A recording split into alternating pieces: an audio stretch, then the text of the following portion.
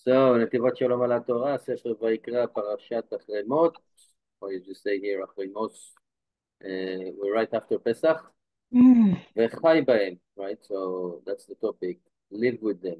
ושמרתם את חוקותיי ואת משפטיי אשר יעשה אותם אדם וחי בהם. And you keep or watch my uh, laws and rules that a person should do, and he should live with them, or with them, within them. And our sages דרשו, חז"ל saying, right, in this פסוק, וחי בהם ולא שימות בהם, that he should live with them and not die with them. מכאן שפיקוח נפש דוחה את כמצוות. So from here we learn that the purpose of the mitzvot is to live and not to חס וחלילה die, and they got to the conclusion that if somebody have a, a, a life risk and he needs to violate the mitzvot, the rule, the restriction, and he will be able to stay alive, then we do that. We do that. The onkelos, but onkelos, he, he translated to again bahem, right? Lechaye, what do you mean chai bahem? Live with them. So he said, lechaye alma, to the, to the, to the world, the, the world that we're living in.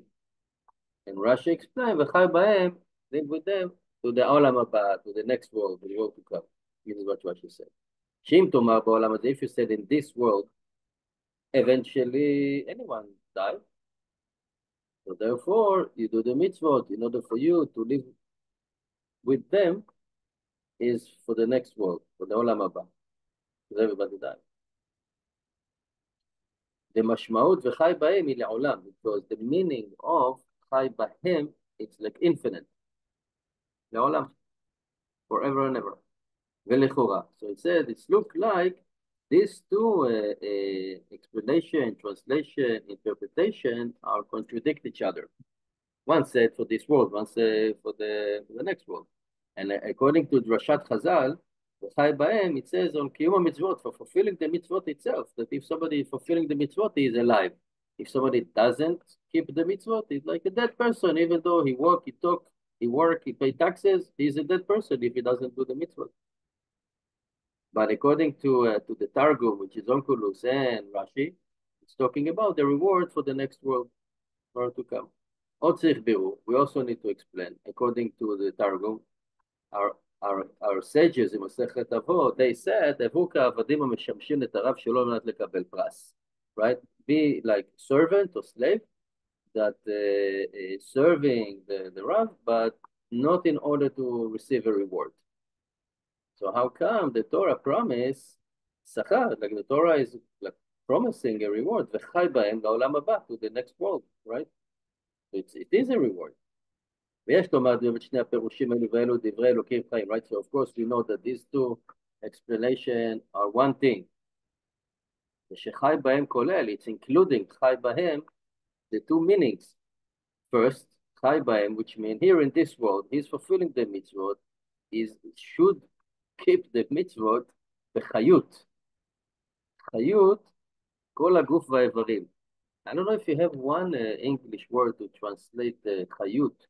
Chayut, it's a word that include vitality, life, uh, energy, excitement, enthusiasm. This is how we should keep the mitzvot. Chai, with all the body, all the parts. מבחינת כל עצמותיי תאמר להשם מכמוך, that even the bones will say, who is like Hashem? Nobody like Hashem. And he said all the 630 mitzvot are depending on, on the, on the on someone that will do the mitzvot. Otherwise, if nobody do it, what, what's the purpose of them to exist? And we know that each mitzvah that we keep sanctify a part in the body and sanctify a spiritual part in the body. 613 total. Vinyanze, and this matter is also the source, the root, and the source of V'chai Baim Lo'olam Haba for the, for the uh, next world to come. So it could be few two things. Right? When we say Olam Haba, usually we refer as after we die, but also Olam Haba can be the world after Mashiach comes.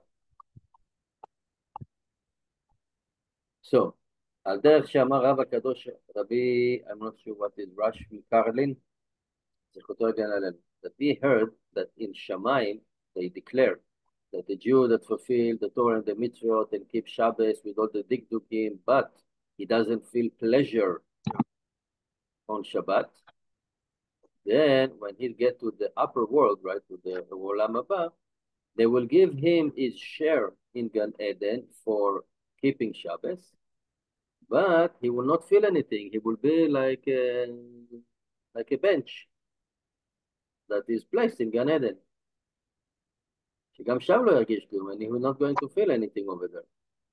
And the explanation, what does it mean? Because the pleasure of heaven, of Gan Eden, where the tzaddikim, the righteous persons, right, the righteous people sits and they have crowns in their head and they're enjoying the glory of the Shekhinah. What does it mean? I'm not sure. But we know that our sages are teaching us, for example, over there it's the learning. What we learn, we're not scraping even the first layer. So whenever you learn here, you're going to learn over there, but you're going to learn the real thing. For example, you know, you have a book, and at the back of the book, you have like a small, tiny little paragraph that explains about the author and what the book is about. So this is basically what we're learning today. When we get to Olam Haba, to Gan Eden, whatever we learn, we will learn actually the book itself, the spiritual knowledge. He said, and he says here in our other saying that this is actually our pleasure. So if somebody doesn't have the pleasure of learning, of keeping Shabbat, then he will be in Gan Eden, but maybe he will not feel anything according to what he says. He said, we learn here from if the fire of hell is being generated from the fire of desire towards the sins, right? In this world, in the olamas, that's why people that are being punishment, it's like the punishment is like in the same level when they did the sin. And the same way, the fire of Kedusha that is created in this world will, will provide the pleasure that the Jew will have in the Olam Haba in Gan Eden. And therefore, we need to do the mitzvot with vitality, with excitement, with enthusiasm, even if we don't have. it. And then he will be Chai Ba'em Olam Haba.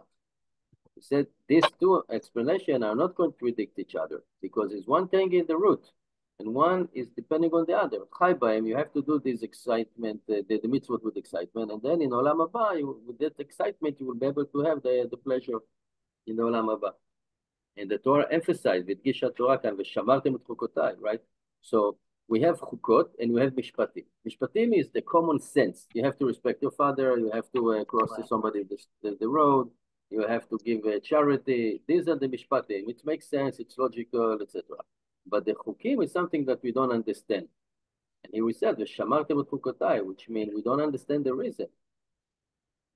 And the Torah wrote, שאפילו החוקות שאדם אינו משיג בהם כלום, אלא הם כחוק עבורה, עבורו. Even if someone doesn't really understand the rationale behind it, right? Just an analogy. Let's say that I have a, a road, two lanes each direction, uh, straight line, and there is a sign over there that says 25 miles per hour. I can do easily 100 miles per hour. It's few miles away. No, 25. Why? I don't know. I have to keep the law. I'm keeping the law. Even if I don't understand, it doesn't make sense. I don't understand the rationale. Somebody probably have a good reason why. So this is the chukim that we don't understand. And we do only because it's Hashem will. It doesn't make sense. But if we do that, also will it will be part of the pleasure. Because the essence itself, or the essence that we are doing the, the Shem's will, that will bring the the the the, the time, the taste of it, the vitality to that as Maran Admor Bal Divrei Shmuel Tzichodel said, Sahala Verina Lezecher Malchuto, right? Every time when we, we pray, you can see that we're using many different words of happiness, enjoyment, Sahala, Rina, right? To the commemorating his kingdom. And he said, Uma Gufa, I mean, just simply by we say that during the davening, and we have that uh, that schut to say Shem Hashem, Baruch Ata Hashem, right? That should fill up with joy.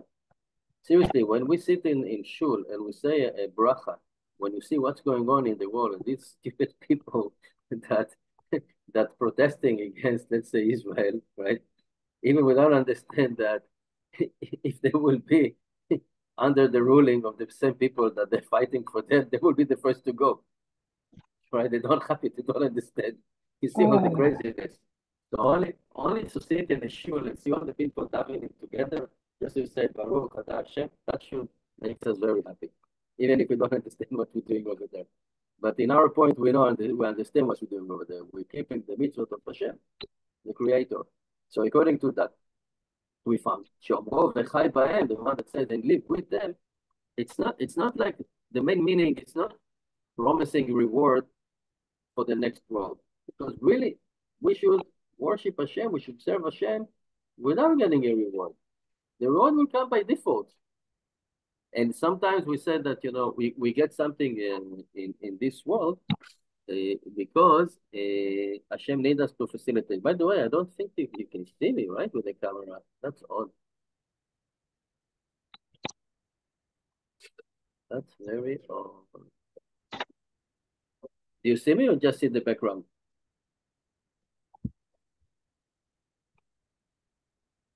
No, no. Okay, so you see the background. Okay. Only the background. Good. Just the background. Yeah, I don't Yeah. know what uh, what happened. Just the background, yeah.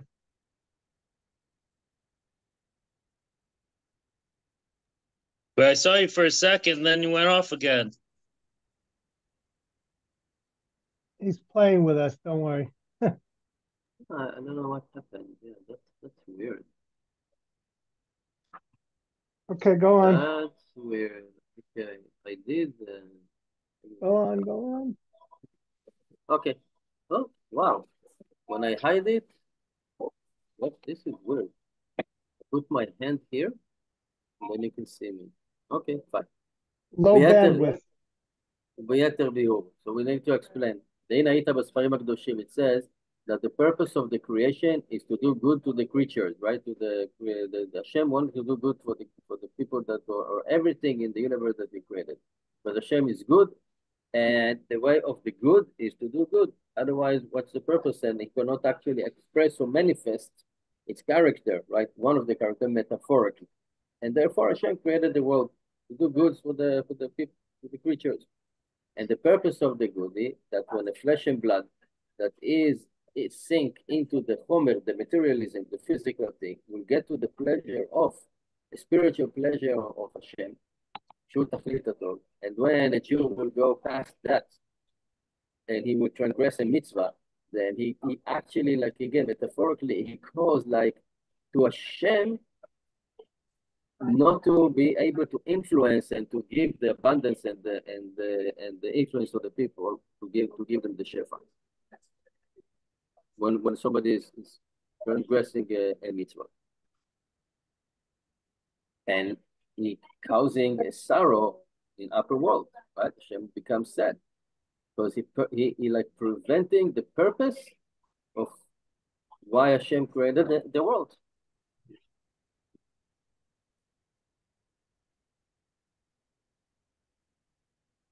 So he said here, but when a Jew is fulfilling Hashem's will and he keeping the mitzvot in excitement, then the abundance, the shefa will come down to him.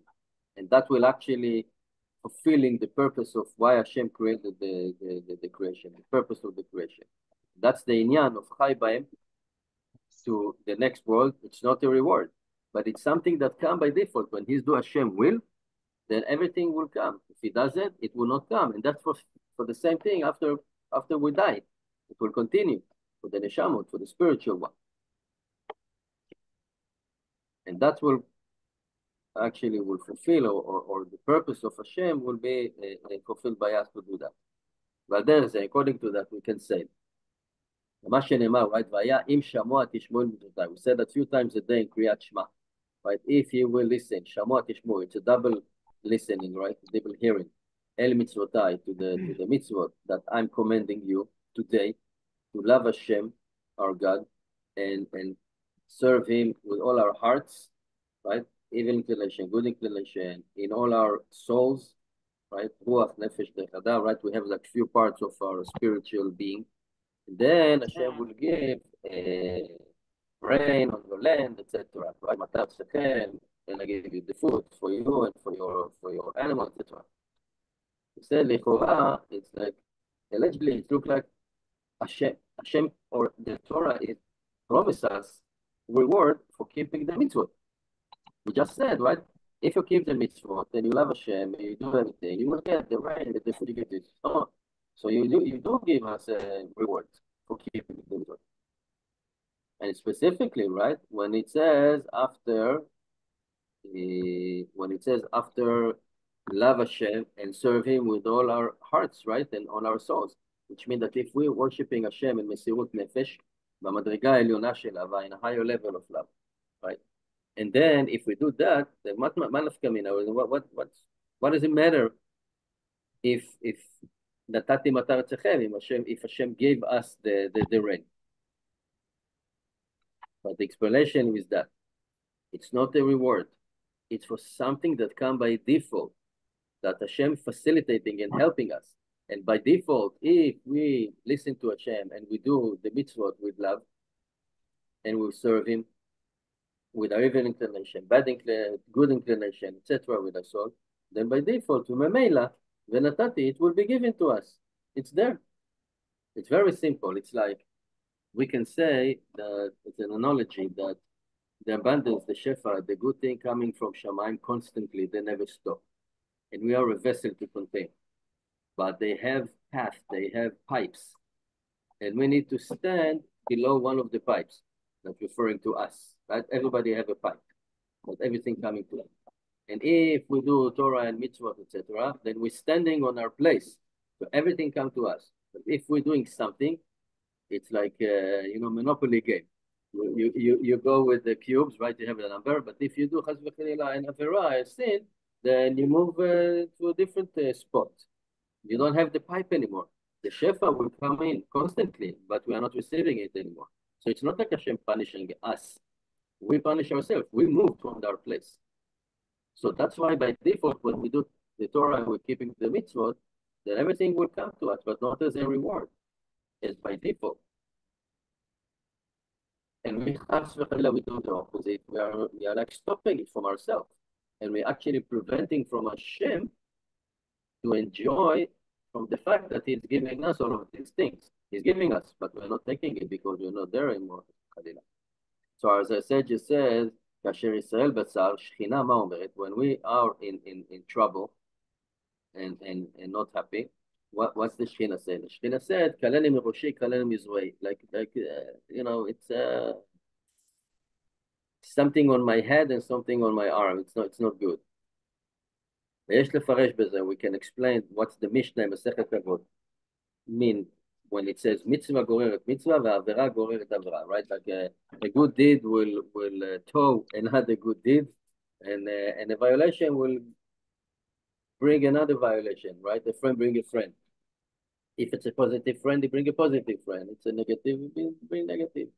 He said, I know when we do a mitzvah, we do Hashem's will and we come in and, and fulfilling another mitzvah, right? So literally, if you do a mitzvah, by default you have a second one. Why? Because Hashem's will that we will do a mitzvah. So you did a mitzvah, you put tefillin. Plus, Hashem is happy because you did, you put tefillin. So it's like two. It's uh, it's matching. Mm -hmm. It's exactly in the charity. When when we, we donate something, somebody donate another another amount. So you do a mitzvah, you do another mitzvah. you, you fulfill Hashem's will. And chas v'chalila, when we do the sin, we do double sin. Because not only that we transgress on something, Hashem also is not happy with that. Right? So that's why they said the mitzvah goreret mitzvah and avra goreret avra. And Hashem wants to influence. Hashem wants to give is good. And in, in our actions, sometimes we prevented it. And that's why the Torah the chayim that we should live with them, we should be excited, we should be happy, we should do the mitzvot. So Bezat Hashem with the mitzvot, and I want to dedicate the shiur to the success of uh, all the, the, the soldier and the Bitachon, and uh, for Aliyat Neshama, for all the souls that uh, that died. To all, all our enemies. Thank you for listening and have a great Shabbos. Amen. Amen. Shabbos. Good Shabbos. Right. Shabbat Shalom.